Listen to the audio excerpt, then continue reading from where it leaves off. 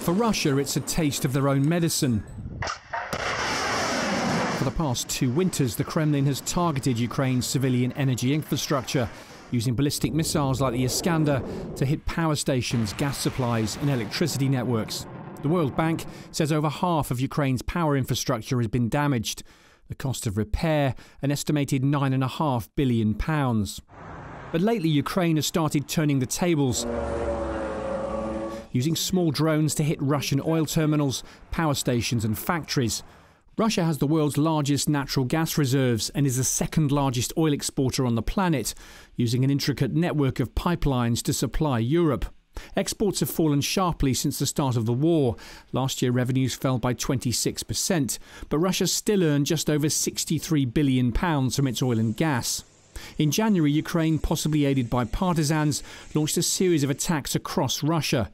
On January 19th, they used drones to set four oil tanks on fire at a depot at Klintsy. A day later, the target was a factory at Tula, 120 miles south of Moscow, which assembles air defence systems. On January 21st, they struck again, this time using kamikaze drones to hit the Ust-Luga fuel terminal 20 miles from the Estonian border. The damage was extensive, with each day it's out of action costing $2 million in lost revenue. On the same day at Vyborg, near Russia's border with Finland, there was a mysterious explosion, possibly the work of Russian partisans.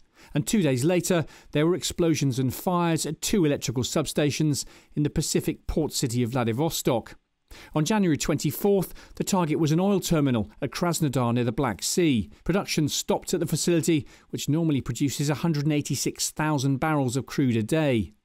Then, five days later, another reported explosion at an electrical substation in Chelyabinsk. This too may have been anti Putin partisans. So, what effect is this having? An attack last month on one of Russia's biggest refineries sent the price of gasoline soaring. Reports say the Kremlin considered imposing an export ban because of fears there'd be fuel shortages inside Russia. The Kremlin's budget is heavily dependent on oil and gas exports. It's the primary source of foreign income money Vladimir Putin desperately needs for his so called special military operation. The risk of drone strikes is also raising insurance costs for tankers calling at Russian ports. And of course, there's the effect on Russian military operations.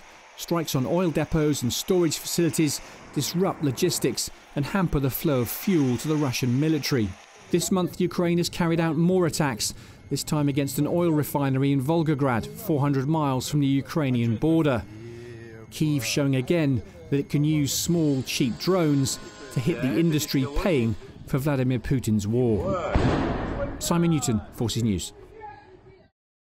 Thanks for watching. For more from Forces News, like and subscribe to our channel.